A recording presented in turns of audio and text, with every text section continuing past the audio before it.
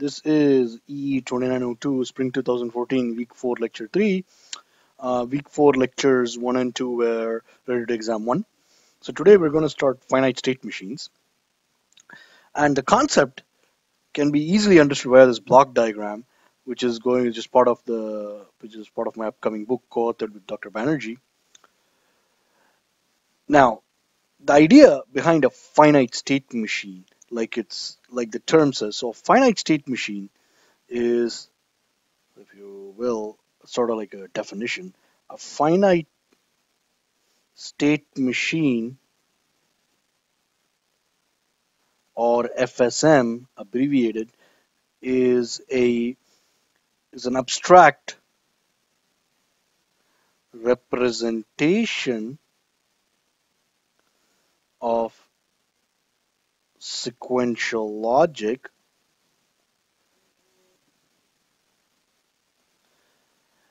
Basically this block diagram summarizes the concept beautifully. So what you have is memory that is registered or that is registered of course because it's synchronous. And of course we have well-defined reset state always but the next state is a function of the inputs and the current state. So in other words, this is termed current state and this is obviously next state. Okay. Next state, but then there are two kinds of finite state machines depending on how the output, depending on the output logic function. So either you have a Moore machine where the output logic is a function of the current state only, okay?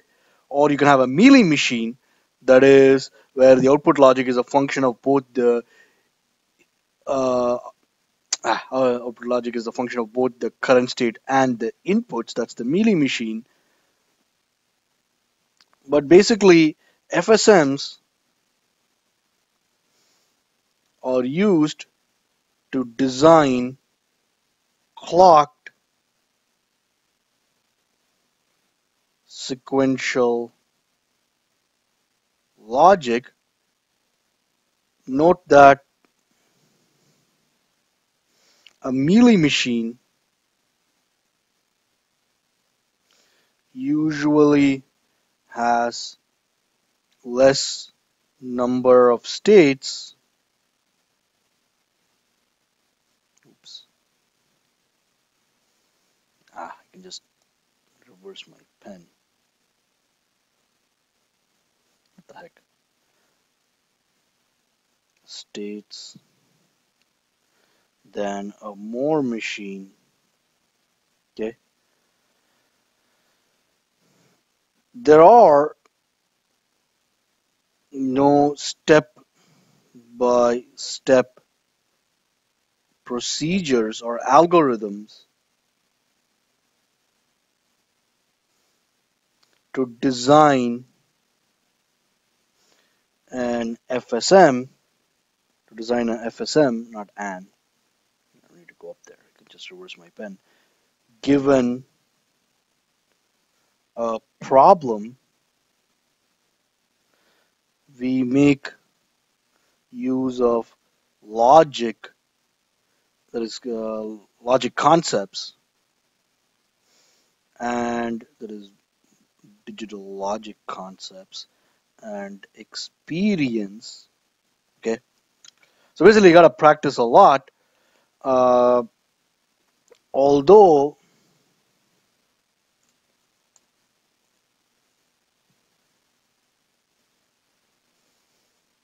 there exists a variety of tools for representing FSMs like state transition tables, okay, state transition tables, finite state or state transition diagrams,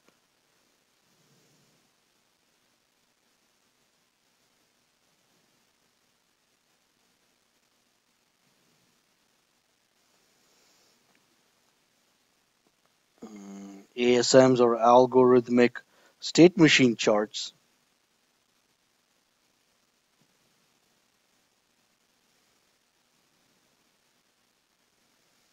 Algorithmic state machine or ASM, etc.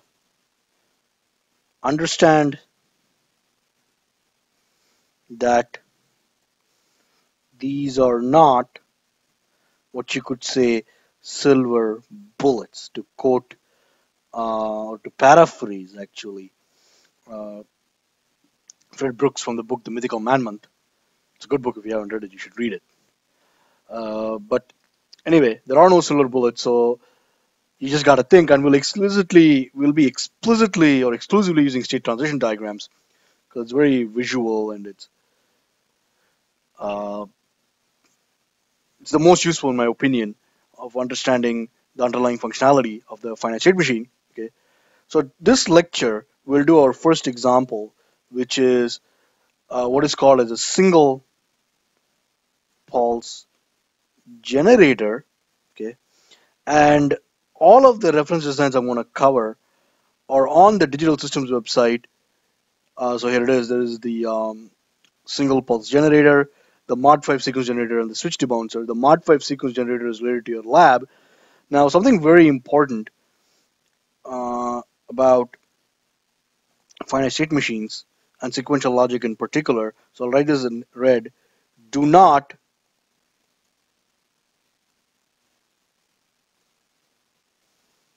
attempt to debug the not only this design but any design by what I call staring at it. Okay. You must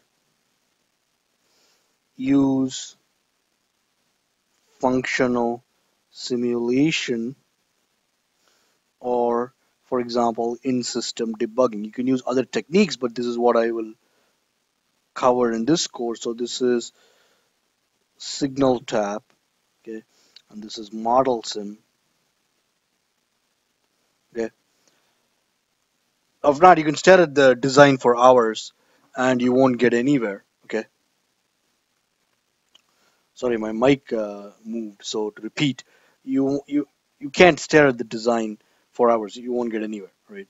This is point number one. Point number two. Always have a well-defined reset state. Okay.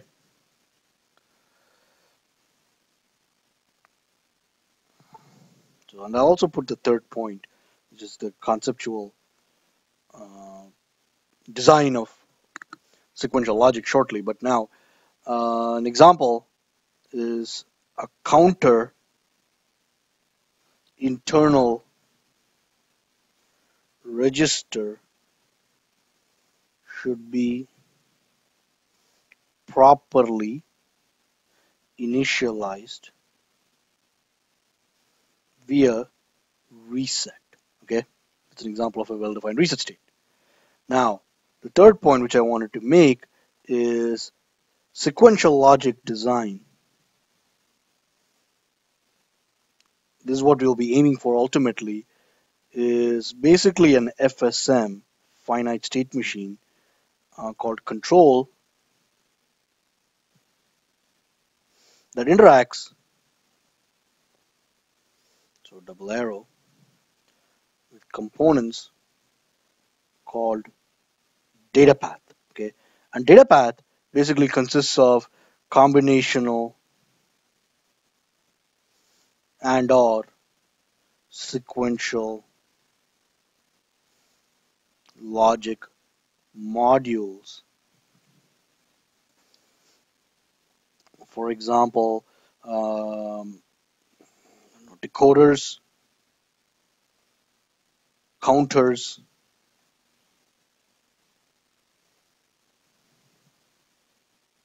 etc. Right? But basically, this is the ultimate um, high-level abstraction that we'll be aiming for. Okay, and this FSM here is basically what this this is what the picture or the RTL quote unquote view, if you will, will boil down to. So each of these will be described by their own VHDL uh, statements.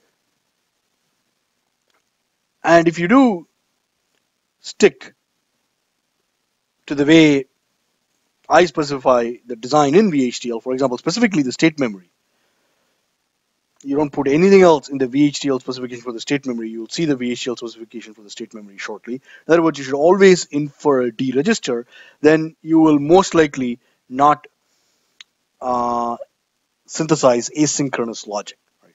It's not that asynchronous logic is bad. You just got to be very careful when you design asynchronous logic, and that's not that's beyond the scope of this course. Okay, but let's get into the single pulse generator, and basically the idea of a single pulse generator will be specified in this case. I mean, we'll specify using timing diagram, and you got to get used to timing diagrams because they are used everywhere. For example, protocol specification, as you'll see in your project involving the I2C bus to interface with the audio codec. Okay. So basically what we have is, of course, a well-defined reset state, right? So when reset zero,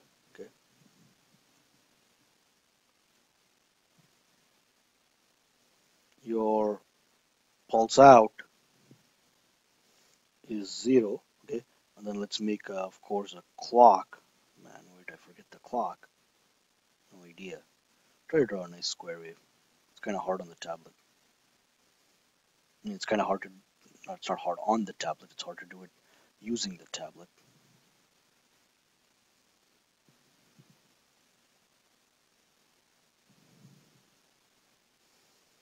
Then let's go a little bit more. So let's say it's asynchronous reset reset. So pulse out is zero, but then let's say input signal. So in other words, single pulse generator is basically your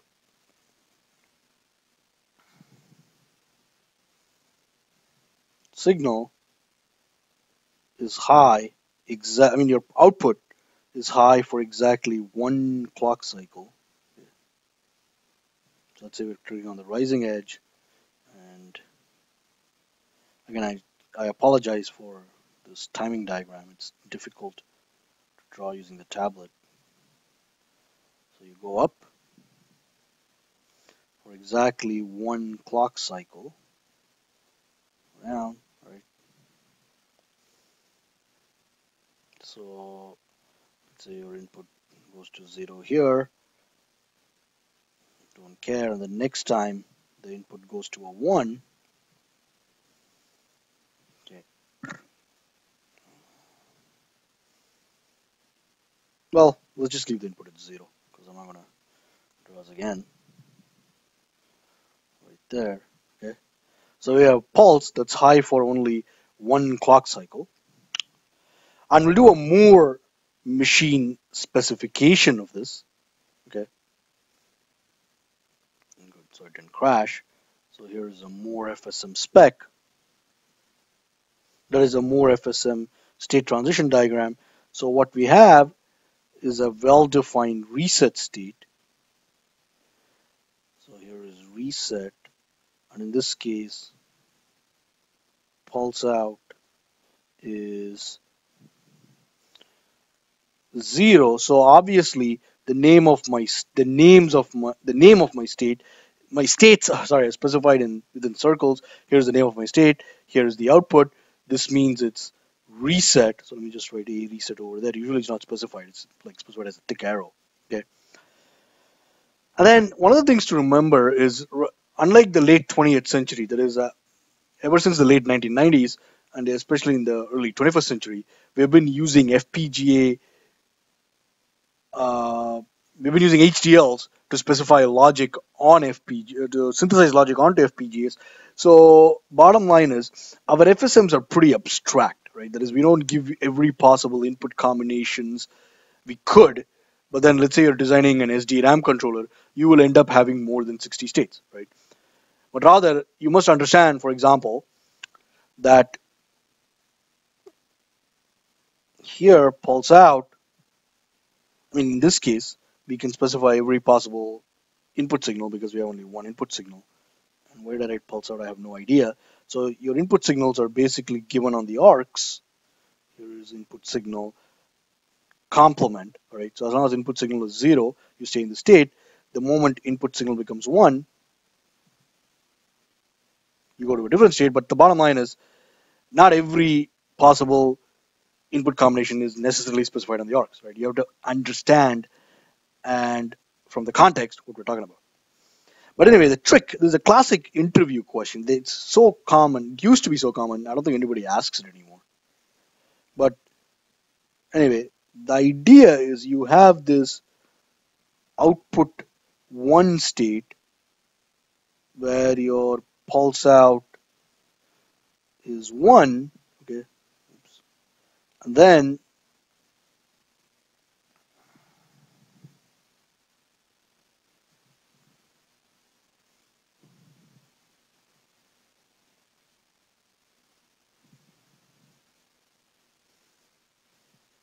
you don't care what the input is. Right, and usually this don't care is not specified. Okay. You go to immediately, that is after one clock cycle, you go to output zero state. Here, pulse out is zero. Okay, and as long as input signal is one, you stay in the state, right?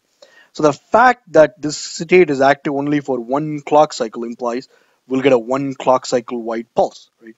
And then the moment your input signal becomes zero, you go back to you can go back to your reset state. Okay.